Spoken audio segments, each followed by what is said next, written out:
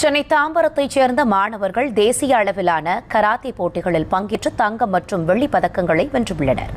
சென்னை தாம்பரத்தில் அமைந்துள்ள தனியார் கராத்தே பயிற்சி மையத்தில் பயிற்சி பெற்று வந்த மாணவர்கள் அறந்தாங்கியில் நடைபெற்ற தேசிய அளவிலான கராத்தே போட்டியில் பங்கேற்றனர். இதில் மாதேஷ் என்ற மாணவர் தங்கப் பதக்கமும் சர்வேஷ் என்ற மாணவர் வெள்ளிப் பதக்கமும் வசீகரன் சாய் பிபின் அர்ஷன் ஆகிய மூன்று மாணவர்களும் வெண்கலப் பதக்கமும் வென்றுள்ளனர். கராத்தே போட்டியில் வெற்றி பெற்ற மாணவர்களுக்கு பயிற்சி மையத்தின் நிறுவனர் கராத் கார்த்திகேயன் மற்றும் பெற்றோர்கள் வாழ்த்துக்களை தெரிவித்துள்ளனர். சிக்ஸ் அண்ட் பஞ்சஸில் சிக்ஸ் சிக்ஸ் மந்த்தாக கராத்தே ப்ராக்டிஸ் பண்ணிட்டு இருக்கேன்.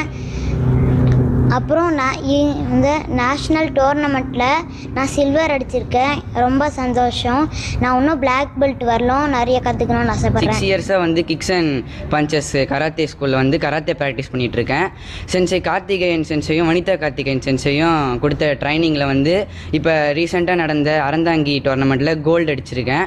எனக்கு வந்து ரொம்ப சந்தோஷமாக இருக்குது இன்னும் வந்து வேர்ல்டு லெவலில் ஒலிம்பிக்ஸில் கலந்துக்கணும்னு இன்னும் வந்து எனக்கு கொஞ்சம் ஆசையாக இருக்குது சென்னை மாநகர காவல் ஆணையர்